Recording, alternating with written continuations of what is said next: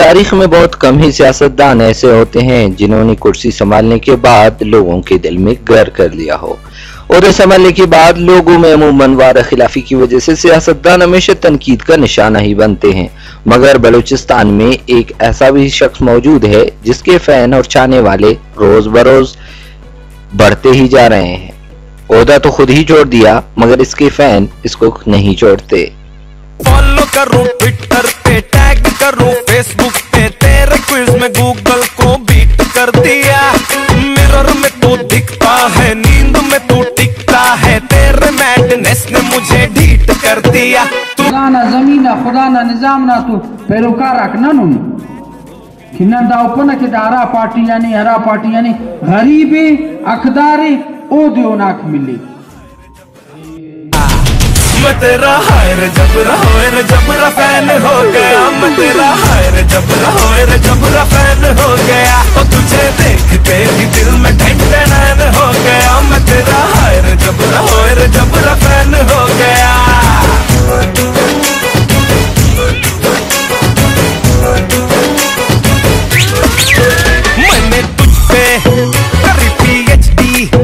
میرا میرا حق تو ہی اولی وجہ میں تو سچی ہو جاؤں تچی کوئی تیرے جو بارے میں بولے برا تیرا یار ہے مجھ کو بخار ہے جانے ساری کلونی میں تیرے لیے انسین ہو گیا میں تیرا ہائر جبرا ہوئر جبرا فین ہو گیا میں تیرا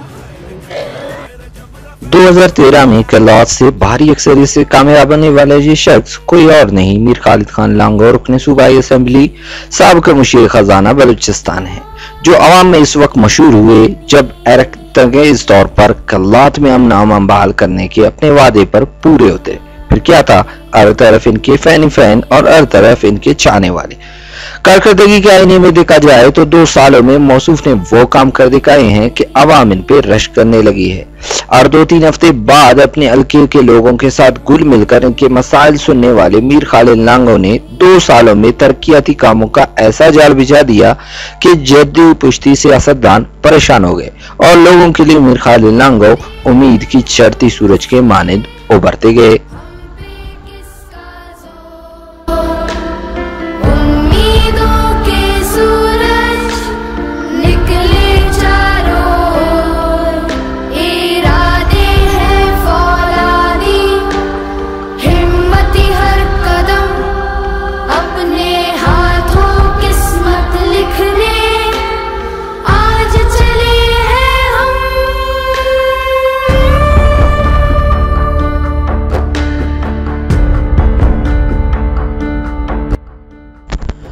مشیر خزانہ بلوچستان کا قلم بند سنبھالتے ہی میر خالد خان لانگو نے اسکول کالج، صحت کے ادارے بنانا شروع کر دیے۔ اداروں کو گاڑی فراہم کرنا، ایمبولینس تقسیم کرنا، روڈ بنوانا، نئی نوکریاں پیدا کرنا خالق آباد کو تحصیل کا درجہ دینا، بینک منظور کرانا، الیکشن کمیشن کے لیے دفتر کھلوانا، اسٹیڈیم بنانا، اسپورٹس فیسٹیول کا انعقاد کرنا، علاقوں کے لیے واٹر سپلائی سکیمز منظور کرنا، دیہاتوں میں بجلی فراہم کرنا ٹرانسفارم فراہم کرنا اور شادی آل بنانے کے ساتھ ساتھ ضرورت مندوں کی مدد کرنا۔ یہ وہ عملی اقدامات تھے جن کی وجہ سے لوگ میر خالد خان لانگو کی طرف کھچتے ہی چلے جا رہے تھے۔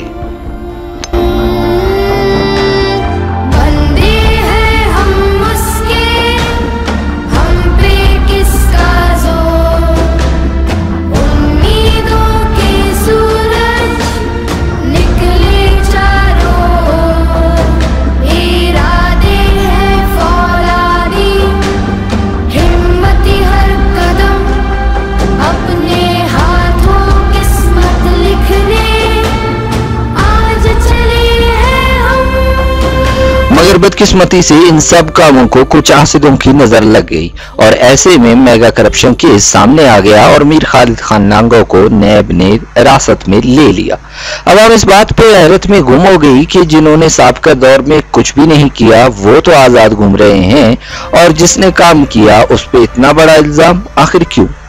عوام کے دلوں میں گر کرنے والے کو جب نیب نے گرفتار کر لیا تو پھر اس کے چانے والے دیوانہ وار آنکھوں میں آنسو لیے روڈوں پر نکل آئے اور روڈوں پر لوگوں کا سمندر امنڈ آیا۔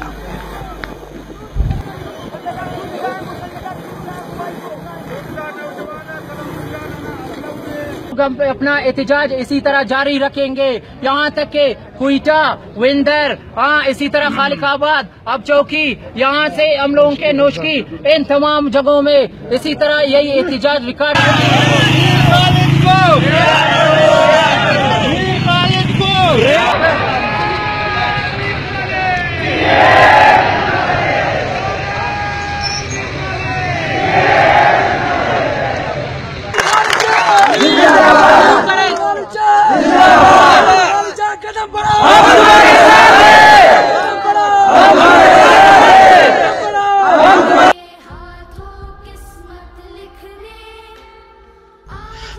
بلاخر نیب نے اپنی تحقیقات مکمل کر کے جب میر خالد خان لاگو کو جوڈیشل کر دیا تو ایک مرتبہ پھر میر خالد خان لاگو بلوچستان اسمبلی میں پہنچ گئے اور دھوئیں دار تقریر کے ساتھ ساتھ استعفیٰ بھی دے دیا I have decided to go back to my people. I have decided to go back to Khalikabad and Kalat. So, میں آج اسمبلی کی رکنیت سے مستعفی ہونے کا اعلان کرتا ہوں اخلاقی طور پر جواز نہیں بنتا کہ میں اس اسمبلی میں بیٹھوں، کیونکہ اتنا بہت بڑا الزام لگا ہے۔ میں پھر جاؤں گا خالق آباد، میں پھر جاؤں گا کھلات میں پھر الیکشن لڑوں میر خالد خان لانگو نے استعفیٰ تو دے دیا، مگر نواب ثناء اللہ خان زیری وزیر اعلیٰ بلوچستان کے اصرار پر اپنا استعفیٰ واپس لے لیا اور سب پہ چاہ گئے۔ عوامی حلقوں نے عدالت عالیہ سے گزارش کی ہے، التماس کیا ہے کہ وہ میر خالد خان لانگا کو جلد از جلد رہا کریں تاکہ وہ اسکیمات جو انہوں نے شروع کی ہیں عوام کی بلائی کے لیے وہ مکمل ہو سکیں اور عوام کو ان سے فائدہ ہو۔